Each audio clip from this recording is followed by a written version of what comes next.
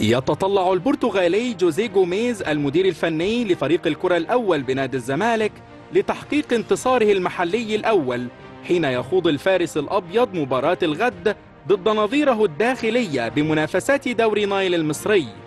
وكان الزمالك قد استهل مشواره المحلي تحت قيادة جوزيه جوميز بالتعادل السلبي أمام الإسماعيلي بمنافسات الدوري. وفي المقابل كانت البداية ولا أروع للبرتغالي على المستوى الإفريقي بانتصار ثمين على حساب أبو سليم الليبي بالجزائر الأحد الماضي وضمان صدارة المجموعة في الكونفدرالية بعد التأهل إلى ربع النهائي. ويسعى جوميز لتكرار سيناريو أربعة مدربين سابقين لفريق نادي الزمالك تمكنوا من تحقيق أول انتصار محلي لهم في قيادة الفارس الأبيض خلال مواجهة الداخلية. البرتغالي مانويل جيسوالدو فيريرا استهل انتصاراته المحلية مع الزمالك في الولاية الأولى من خلال التفوق وقيادة أبناء زامورا للفوز بهدفين نظيفين على حساب فريق الداخلية ضمن منافسات الجولة الرابعة والعشرين للدوري في موسم 2014-2015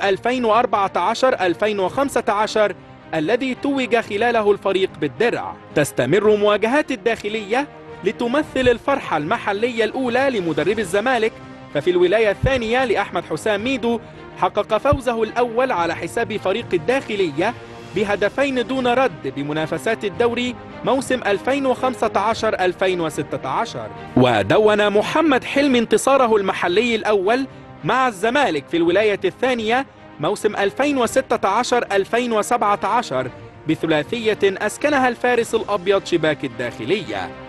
وصار إيهاب جلال على نهج من سبقوه وتذوق طعم الفرحة المحلية الأولى بانتصار على حساب فريق الداخلية بهدفين مقابل هدف في موسم 2017-2018